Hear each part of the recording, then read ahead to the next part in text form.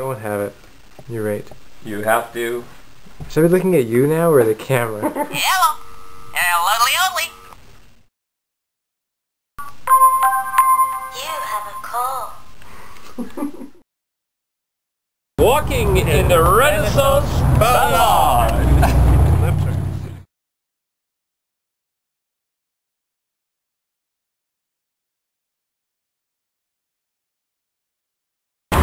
Have you lived in Ballard long?